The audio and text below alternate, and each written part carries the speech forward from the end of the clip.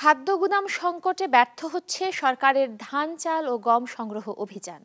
ফলে ফরিদপুরের কৃষকরা পাচ্ছেন না ন্যায্য দাম। খাদ্য নিয়ন্ত্রক কর্মকর্তারা বলছেন উপর মহলে বারবার গুদাম সংকটের লিখিত অভিযোগ দিলেও মেলেনি সমাধান। হাসানুজ্জামানের রিপোর্ট, ছবি তুলেছেন রুবেল আহমেদ।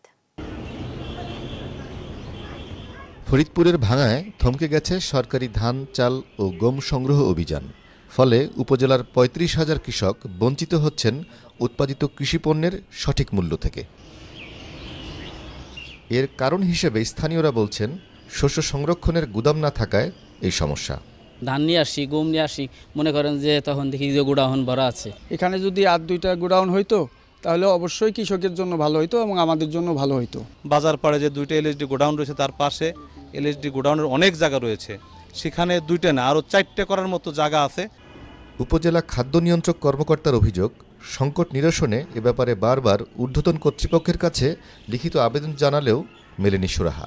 বছরে আমাদের আপৎকালীন মজুদ সংরক্ষণ ইত্যাদিতে এক হাজার মেট্রিক টন ধারণক্ষম গুদামে আমাদের অসুবিধে হয়।